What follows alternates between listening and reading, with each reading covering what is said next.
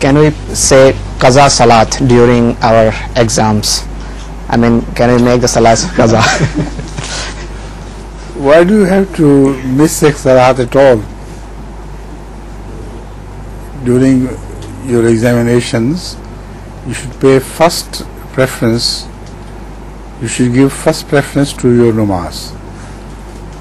And uh, if a namaz has been missed, according to Muhammad wasallam, the moment you remember that that salat is missed, you should start saying that missed prayer immediately. Right? The excuse of examination is no excuse.